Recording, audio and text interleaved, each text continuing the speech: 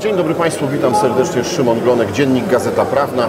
Jesteśmy w Karpaczu podczas forum ekonomicznego e, w studio Szkoły Głównej Handlowej w Warszawie. E, A ze mną w studio pan profesor doktor habilitowany Artur Nowak-Far, profesor e, w Szkole Głównej Handlowej w Warszawie. Tak dokładnie, panie redaktorze. Dzień dobry. Panie profesorze, może tak trochę prowokacyjnie, a może nie, czemu z polskiej dyskusji gospodarczej, biznesowej, politycznej zniknął temat euro? Taki poważny, powa poważnej debacie.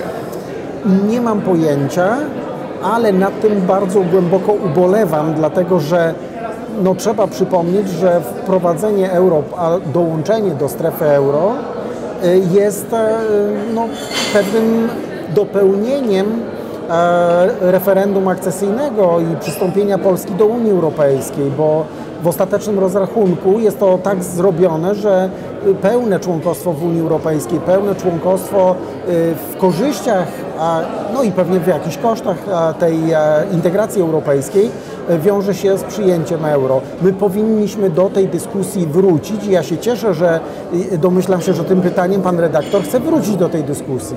Tak, jak, jak najbardziej uważam, że ona jest e, potrzebna, no bo pamiętam ten 2004 rok, kiedy wchodziliśmy do Unii, kiedy właśnie było mowa, że już przygotowujemy się, już zaczynamy wypełniać te e, wszystkie wymogi, jakie stawia strefa euro, żeby móc powiedzieć, my jesteśmy gotowi. Panie redaktorze, to ja powiem coś więcej, bo ja uczestniczyłem w kampanii informacyjnej, a przed referendum akcesyjnym.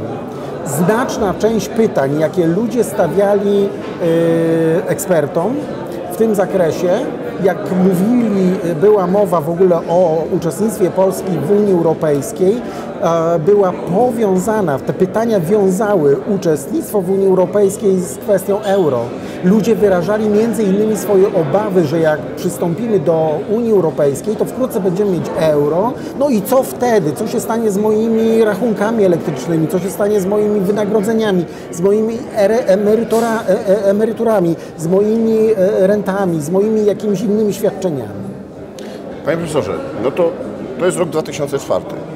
Teraz, 20 lat później prawie, bo jesteśmy na progu 2024. E, No i tak, my nie spełniliśmy tych e, warunków i dzisiaj chyba jesteśmy jeszcze dalej niż byliśmy wtedy, E, ale też strefa euro poszła dalej, zreformowała się, przyjmuje inne wymagania, przyjmuje inne e, kryteria do tego, żeby w tej strefie być.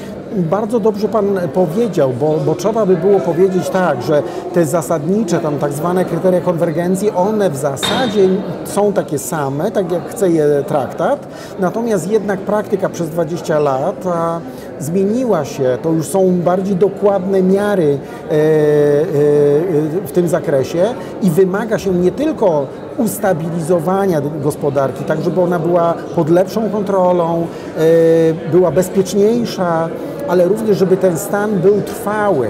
Ta trwałość nie istniała kiedyś jako w ogóle kategoria oceny państwa członkowskiego, a w tej chwili jest. Natomiast to samo jakby podejście państwa do strefy euro oznacza i wtedy, i dzisiaj bardzo jedną ważną rzecz, mianowicie, że rząd nie może sobie hasać dowolnie e, pieniędzmi i, i dysponować pieniędzmi publicznymi tak, jak mu się podoba, albo jakby chciał wykreować na przykład jakiś cykl koniunkturalny, polityczny, albo e, no, jakby wydać pieniądze mm, w sposób mniej zdyscyplinowany, dlatego że reguły, które są e, tutaj stosowane, zwłaszcza wobec państw strefy euro, są po prostu regułami kontrolującymi i one zmuszają takie państwa, które by chciały przyłączyć się do strefy euro, żeby wcześniej jeszcze pokazały, że ich system stał się bezpieczniejszy. Panie profesorze, z punktu widzenia biznesu, bo, bo myślę, że to też bardzo pokazuje tą e, opłacalną część. E, Rozmawiałem ostatnio z przedstawicielami Związku Banków Polskich i oni podawali, że no, najnowszych danych akurat nie, nie są w stanie podać, bo, bo, bo w jakiś sposób nie chwalimy się nimi, ale sprzed dwóch czy trzech lat dane e, pokazują, że to na samym przewalutowaniu polskie firmy to jest wielkość około 0,6 polskiego PKB. No to są gigantyczne sumy, które firmy tracą i wydają na to, żeby codziennie płacić w euro albo sprzedawać w euro i później przewalutowywać na złotówki.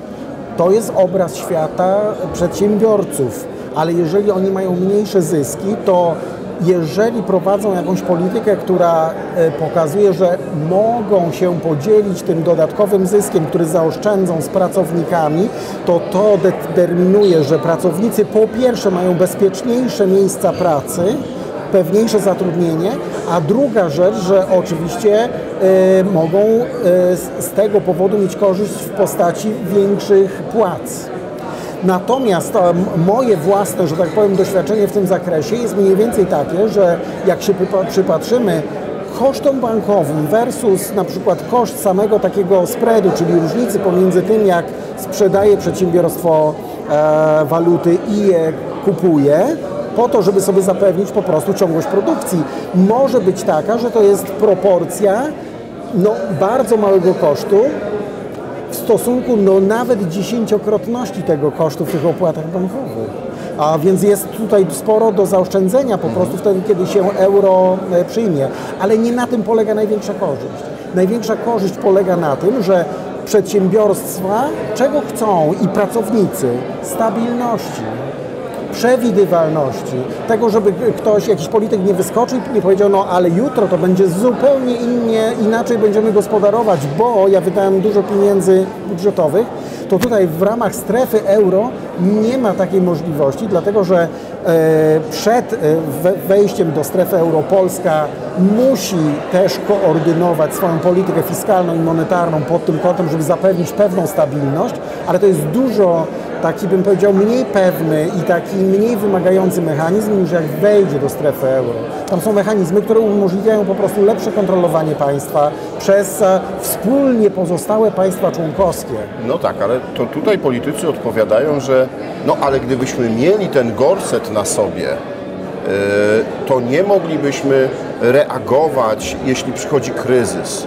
Nie moglibyśmy czy polityki fiskalnej, czy monetarnej sami ustalać pod to, jak nam jest wygodnie, tylko ustalana by była to, jakby wygodnie jest wszystkim w strefie euro. Uwaga, uwaga. Mówimy o dwóch politykach. Fiskalna, monetarna. Fiskalna, czyli ta, za którą odpowiada państwo, opierająca się na, generalnie rzecz biorąc, podatkach i transferach, czyli takich ujemnych podatkach, które wypłaca, świadczeniach wypłacanych ludziom a polityka pieniężna na kontroli wielkości masy pieniądza w gospodarce. W takim uproszczeniu, ale moim zdaniem dobrze poinformowanym i dobrze wyjaśniającym sprawę. W ramach Unii Gospodarczej i Walutowej strefy euro, eurosystemu, a po przyjęciu do euro oddajemy to do wspólnego decydowania, tą politykę pieniężną do wspólnego decydowania przez wszystkich prezesów banków centralnych strefy euro, plus e, no, wybranych przez nas, a mamy na to wpływ wtedy, e, członków e, zarządu Europejskiego Banku Centralnego. Czy trochę można powiedzieć takiej Rady Polityki Pieniężnej? Tak, ale z naszym udziałem.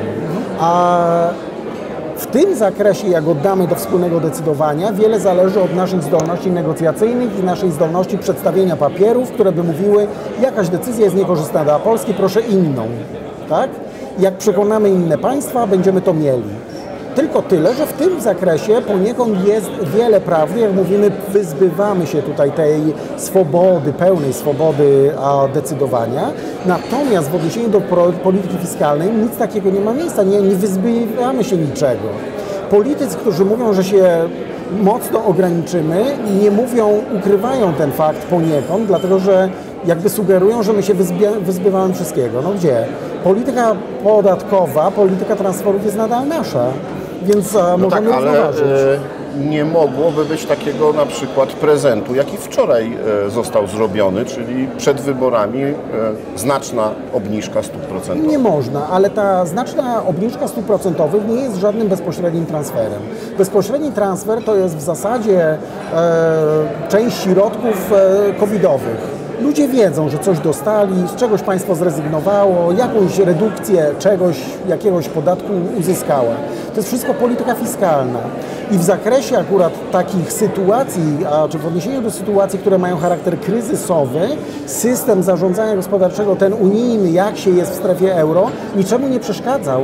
Proszę sobie zobaczyć, jak wyglądał francuski system. Był bardzo e, szczodry w odniesieniu do wspomagania ludności i przedsiębiorstw w, w zakresie antykow, działań antykowidowych. Niemcy podobnie. Nie słyszeliśmy, żeby oni narzekali, że z tego powodu, że mają euro, to to nie pozwalało im adekwatnie działać. Jedyne, z czym mamy, że tak powiem, trudności jakby jako naukowcy, to jak patrzymy na te systemy pomagania w, w zakresie COVID-u, to się nie da tego łatwo porównać, ale tak, poziom wydatków bywał w niektórych państwach większy niż w Polsce, sprawność funkc funkcjonowania systemu bywała lepsza niż w Polsce i efektywność tej pomocy bywała lepsza niż w Polsce, w państwach strefy euro. Panie profesorze, to zapytam o jeszcze jeden, chcę, chciałoby się powiedzieć um, może miejską legendę. O. E,